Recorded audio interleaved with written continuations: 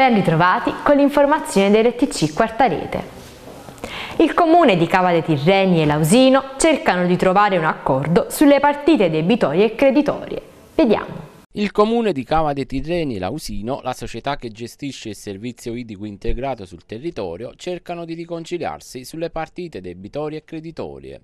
Infatti, la verifica dei crediti e debiti reciproci al 31 dicembre 2008 evidenzia un disallineamento tra quanto risulta alla contabilità del comune di Cava dei Tirreni, dalla quale emerge un credito vantato dall'ente di poco inferiore a 32.000 euro, e quanto risulta invece dalla contabilità di Ausino, poiché la società sostiene che il comune metelliano è debitore nei suoi confronti di poco più di 443.000 euro. Il comune e la società già da diverse settimane hanno avviato delle trattative finalizzate alla riconciliazione delle reciproche partite debitorie e creditorie, anche mediante la ricognizione analitica di tutte le voci che costituiscono le reciproche pretese. Dopo una serie di incontri chiarificatori, il debito del comune nei confronti di Ausino sarebbe di 37.000 euro. Tuttavia, Tuttavia resta un disallineamento tra le rispettive partite contabili relativamente a due crediti vantati dal comune ma contestati dall'Ausino. Nello specifico si tratta dei canoni di fitto del piano seminterrato dell'ex circoscrizione di Pregiato per il periodo settembre 2013-dicembre 2018 per 194.000 euro e i lavori in via 25 luglio, eseguiti in danno dal comune per 86.000 euro.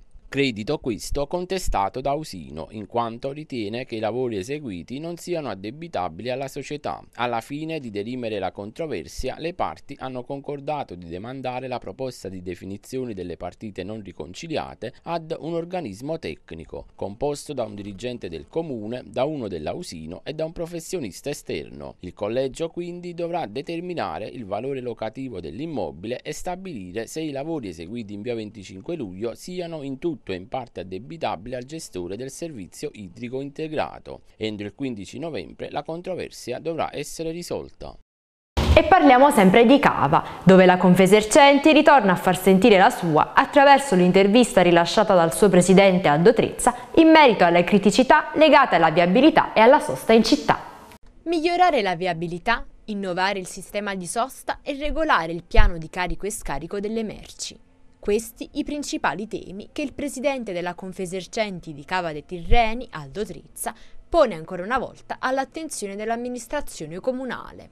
In primo luogo, Trezza evidenzia una serie di criticità legate ai principali punti di snodo stradale come quello di Viale Riccardo Romano e l'incrocio tra Corso Principe Amedeo, Viale Benedetto Gravagnolo, Via Pasquale Tenolfi e il recente sottovia veicolare, dove nelle ore di punta numerosi sono i casi di imbottigliamento del traffico cittadino. Non mi voglio improvvisare nessun tecnico della viabilità, ma sta sotto gli occhi di tutti che ci sono problemi. Io voglio andare da Viale Riccardo Romano, dove prima la strada era una sola e c'era traffico. Ora ne teniamo un'altra, abbiamo aperto un'altra rampa, ma il traffico, se non dico rimane, ma peggiora addirittura. Quindi chi la mattina si deve recare al lavoro prendendo l'autostrada, se non parte deve arrivare alle 8 e mezza al posto di lavoro per arrivare a Salerno, se non parte alle 7 e mezza non ci arriva più. Quindi questo è un problema gravissimo. Pure a Viale Gravagnuolo, Viale Gravagnuolo dove ci sta adesso questo imbuto a Via Tenolfi, dove confluiscono le macchine dal questo decantato eh, sottopassa, quelle che vengono da, da Viale Gravagnolo, quelle che scendono da sopra dal ponte dei Carabinieri per essere più chiari, chi deve, eh, deve scendere a Salerno, chi deve andare verso Nocei, insomma là la mattina e il pomeriggio, là ci vuole una, una bella carica di pazienza, arriva là e non sai quando arriva, ma la cosa grave è questa, qua sono milioni che si buttano e, e non so quanti metri quadri di cemento che, che noi stiamo invadendo anche cava di cemento, ma se ci sono dei risultati allora il sacrificio va pure fatto, ma così no, noi eh, spendiamo soldi. Cemento, ma la viabilità peggiora. Prima dell'estate ho fatto un incontro con eh, Michele Senatore, con Giovanni Del Vecchio e con Annette casetta uh, Altobello mm, per migliorare anche il, diciamo, il parcheggio perché uno uh, carico e scarico che la mattina uh, si inizia a scaricare alle 9 sembra assurdo le attività a quell'ora già debbono vendere.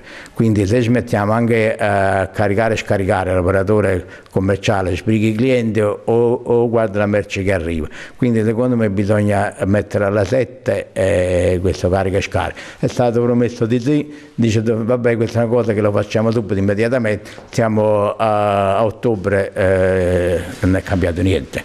Come non è cambiato niente abbiamo proposto di, di mettere oh, un'area eh, veloce di spesa di, di, di, un'ora eh, indicando magari sul, sul vecchio trincerone e a Piazza San Francesco per un'ora chi fa spesa gratuito. Pure questo ho detto vabbè vediamo ma siamo ancora oggi, non ci sono risultati. Eh, diciamo che ultimamente si fanno le riunioni eh, giusto per, diciamo, per chiacchierare un poco, ma i risultati alle riunioni non hanno mai un seguito. Inoltre Trezza propone una ridefinizione del regolamento relativo agli stalli di sosta blu delle aree del centro cittadino che nei giorni feriali dovrebbero essere lasciati liberi per un tempo sufficiente a consentire un ricambio frequente delle auto a beneficio degli esercizi commerciali della zona. La Regione Campania ha dato il via libera al cofinanziamento del progetto di restyling di via Gianturco di Raito. Taglio del nastro intanto per il potlatch, opera in ceramica realizzata all'ingresso del vettore meccanico. Vediamo. Interessanti novità arrivano sul fronte dei lavori pubblici a Vietri sul Mare. In particolare è prevista un'opera di restyling di via Gianturco, la panoramica strada della frazione Raito. La regione Campania infatti ha dato il via libera ad un cofinanziamento per l'intervento fortemente voluto dall'amministrazione De Simone, il che sarà seguito dal vice sindaco con delega ai lavori pubblici Angela Infante e dal consigliere comunale con delega all'ambiente Salvatore Pellegrino.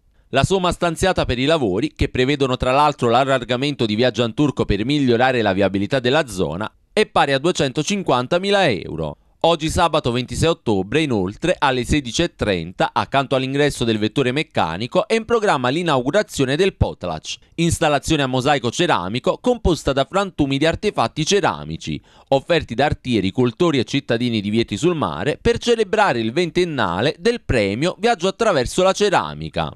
Nei giorni scorsi inoltre è stata collaudata l'ascensore donata dall'associazione Mia Piccola che collega il cortile del palazzo di Città Vietrese agli uffici comunali. Ad Eboli aggredisce ausiliario del traffico, trentenne pregiudicato in carcere. Soltanto l'intervento dei carabinieri della compagnia di Eboli, diretta dal capitano Luca Geminale, ha scongiurato il peggio per la violenta aggressione ai danni di un ausiliario del traffico in pieno centro, in viale Amendola. I militari dell'arma hanno bloccato un trentenne pregiudicato che stava picchiando il giovane dopo averlo colpito con pugni al volto e con calci e schiaffi mentre era a terra. È accaduto ieri in pieno giorno nella centralissima arteria viaria ebolitana con il pregiudicato tradotto in carcere a Forni per violenza, minaccia, resistenza violenza e lesioni a incaricato di pubblico servizio. Il motivo sembra dovuto a un verbale che poco prima l'ausiliario del traffico aveva provveduto a redigere perché il trentenne aveva parcheggiato la propria autovettura nello spazio delimitato da strisce blu senza pagare il necessario ticket per la sosta. Da qui l'aggressione prima verbale e poi fisica con il giovane costretto alle cure dei sanitari del 118 giunti sul posto. Per il pregiudicato si sono aperte le porte della casa circondariale di Salerno e sull'episodio di Viale Amendola anche il commento del sindaco Massimo Cariello che ha espresso tutta la solidarietà e la vicinanza all'ausiliario aggredito con un plauso all'intervento tempestivo da parte dei carabinieri. La finanza agevolata a servizio delle piccole e medie imprese e degli enti locali. Questo il titolo di un convegno che si è svolto questa mattina a Cava dei Tirreni. Parlare di finanza agevolata a disposizione degli imprenditori e degli enti pubblici, presentando alla cittadinanza la rete di professionisti che ha deciso di sposare il progetto di Domenico Fimiani al fine di essere da supporto al territorio cavese e non solo. Questa mattina, presso il caffè Mademoiselle Charlotte di Cava dei Tirreni, si è svolto il primo dei tre incontri in cui si discuterà di temi attuali e complessi. Ho inteso organizzare questi incontri eh, per lanciare un messaggio ai cittadini, alla cittadinanza. Nella mia vita ho sempre praticamente creduto in, eh, in due concetti molto semplici. le competenze e ognuno ha fa un mestiere suo. C'è troppa improvvisazione, eh, c'è un distacco fra cittadino ed istituzioni, il cittadino non sa, non, non ha da parte dell'amministrazione una visione programmatica della città di quello che si vuole fare. Il primo incontro che, eh, di, di, oggi si parla di finanza agevolata eh, per le aziende e per gli enti locali. Il secondo sarà organizzato sull'indebitamento bancario e sovraindebitamento, sofferenze bancarie, autismo bancario e quant'altro. Il terzo invece si parlerà di bullismo e di violenza sulle donne perché sono argomenti eh, che eh, non, non, se ne parla mai tanto. Eh, sono tre eh, eh, temi che eh, ho sempre abbracciato perché ritengo che oggi nella nostra società civile bisogna sempre impegnarsi e portarli avanti. Ho inteso organizzare queste giornate perché, anche perché il, il buon sindaco Servalli eh, eh, ci ha chiamato noi della destra incompetenti e mi sento chiamato in causa perché dopo 32 anni qualcosa avrò imparato. Ho inteso organizzare questi incontri anche per presentarmi ai cittadini eh, perché a maggio si vota e queste, e queste elezioni sono importantissime, sono importantissime perché siamo arrivati alla frutta delucidazioni e soprattutto supporto per la cittadinanza. In entrambi i casi, molto spesso, saranno ottenuti in maniera gratuita da chi li richiederà. Questa è un'altra mission del progetto. Nel convegno di oggi tratteremo principalmente l'argomento della finanza agevolata per le imprese e per gli enti pubblici, perché ho l'onore, ma eh, è una questione di, di, di, tempo libero perché nel sindacato che presiedo a livello nazionale PM Impresa Italia eh, ovviamente mi hanno onorato di questa carica oramai che sono da un anno e mezzo e abbiamo voluto fare una nostra linea di tutela delle imprese puntando tra le altre poche consulenze che ci permettiamo di dire che sono delle eccellenze, la finanza agevolata sia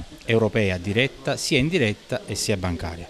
Tramite Domenico, con grande orgoglio e con grande onore, eh, su Cava sarà l'unico eh, diciamo, contatto che gli imprenditori potranno avere per eh, avere delle delucidazioni e anche un supporto. In molti casi abbiamo concordato anche un supporto gratuito perché le progettazioni sono molto onerose, lì dove gli imprenditori, i giovani casomai non hanno nessuna disponibilità economica per poter presentare le pratiche, quindi i progettisti ci assumiamo noi le responsabilità.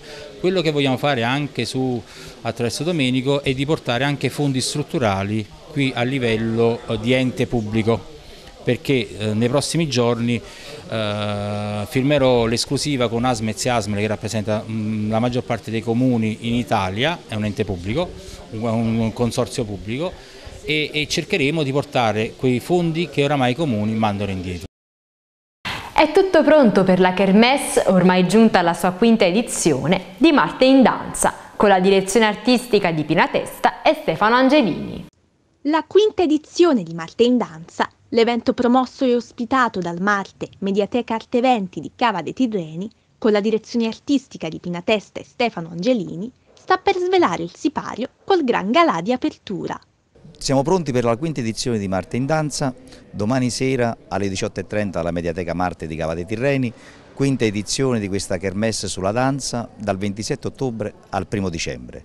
Domani sera avremo ospiti di eccezione, professionisti provenienti da tutta la regione Campania e come giusto che sia anche dal massimo ente lirico, ci saranno dei ballerini del Teatro di San Carlo, altri professionisti e tanti tanti tanti ospiti. Avremo i corpi di ballo di obiettivo danza del Professional Ballet, sotto la direzione artistica di Stefano Angelini e Pinnatesta e soprattutto assegneremo il premio Martin Danza 2019 al maestro Raffaele Paganini che sarà ospite domani sera alle 18.30 qui a Cava. La rassegna ha come sempre un unico obiettivo, celebrare la danza e lasciare che l'amore per quest'arte arrivi anche a chi sta appena muovendo i suoi primi passi ed imparando i suoi primi plié. Alla Kermesse parteciperanno anche le scuole di Cava dei Tirreni, l'Istituto Comprensivo Carducci Trezza, l'Istituto Comprensivo Don Bosco e l'Istituto Comprensivo San Nicola. Quindi vi aspettiamo numerosi eh, domani sera alle 18.30 e poi per tutto il periodo fino al primo di dicembre qui alla Mediateca Marte di Cava dei Tirreni. A domani.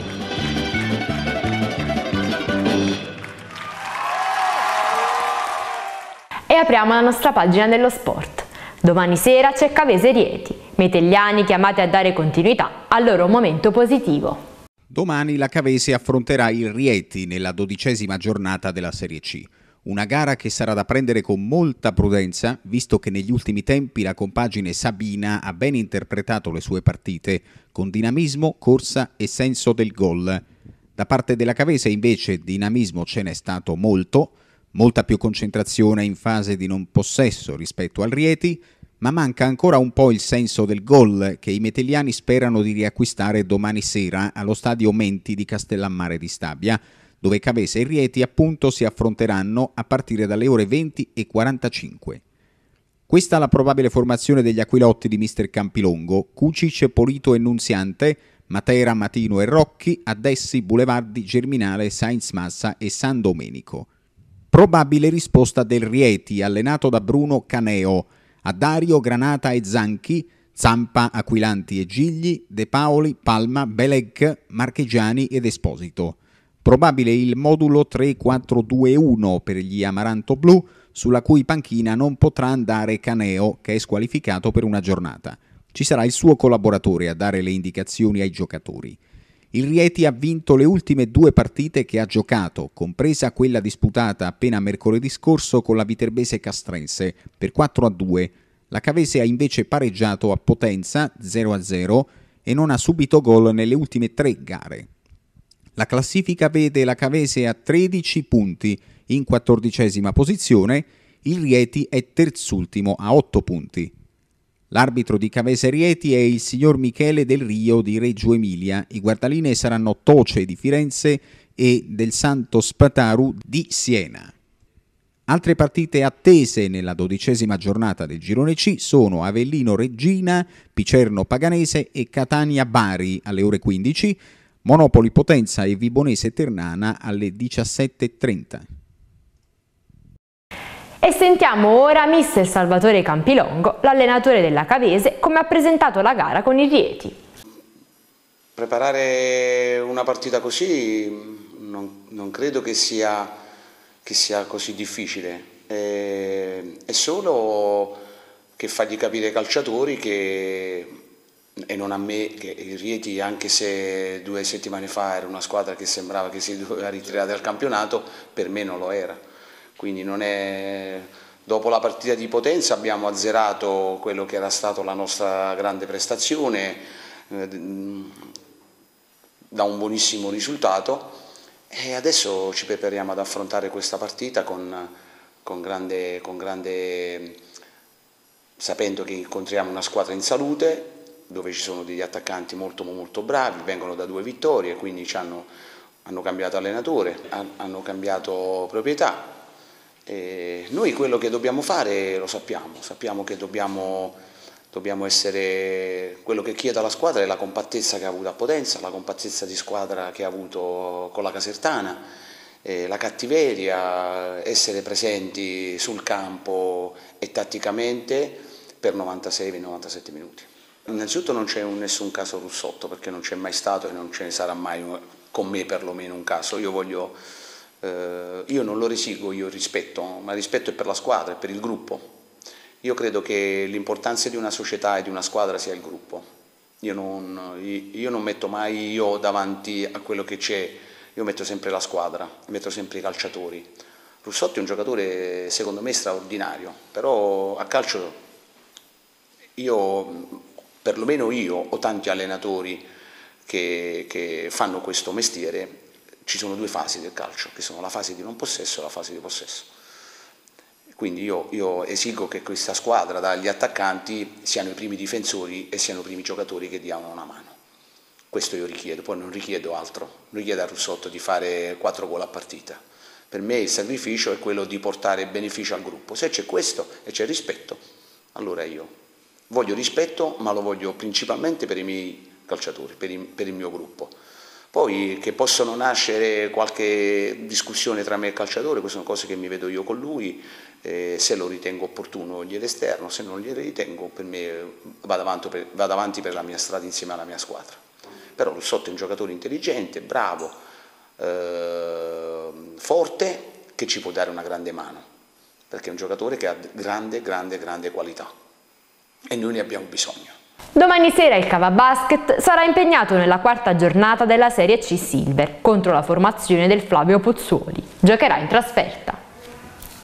Dopo aver vinto le prime due partite che ha giocato in campionato, il Cava Basket torna in campo nella quarta giornata della Serie C Silver. Si batterà contro il Flavio Pozzuoli in una gara che inizierà domani alle ore 18 presso il Palazzetto dello Sport a Monte di Procida. I metelliani ci arrivano dopo aver superato Portici in campionato, mentre il Flavio Pozzuoli è andato a vincere a Marigliano. Alfonso Senatore, il coach del Cava Basket, sa delle difficoltà che la partita contro Pozzuoli potrà presentare, quindi spera di ottenere una prestazione caratteriale da parte dei suoi. Sicuramente è stato un onore iniziare questo nuovo campionato con la maglia di Cava e stato soprattutto un piacere avere tutte queste persone sul pubblico che ci hanno dato sicuramente una mano durante una partita non semplice. Quanto riguarda il mio esordio è stata un'emozione affrontare comunque questa nuova esperienza segnare di fronte, ripeto, con queste, tutte queste persone sugli spalti è stata sicuramente un'emozione incredibile. Sì, sicuramente c'è stato un calo di attenzione non dovuto soprattutto a, a, motivi personali ma soprattutto a motivi di squadra, cioè, ci sono state tante piccole disattenzioni collettive. Quello su cui abbiamo lavorato questa settimana è stato proprio questo aspetto fondamentale, ovvero di aiutarci specialmente in difesa e in attacco abbiamo dovuto lavorare molto di più per trovarci l'uno con gli altri. Questo inizio positivo è stato sicuramente frutto del lavoro che abbiamo fatto finora e eh, sicuramente punteremo al posto più in alto in classifica per quanto riguarda la regular season per ambire poi ad, un, ad una posizione di vantaggio durante i playoff. E prima di chiudere vi ricordiamo che stanotte torna l'ora solare. Alle 3 infatti si dovranno spostare un'ora indietro le lancette degli orologi. L'ora legale sarà di nuovo in vigore dal prossimo 29 marzo 2020. E questa è la nostra ultima notizia. Grazie per averci seguito e buon proseguimento di giornata.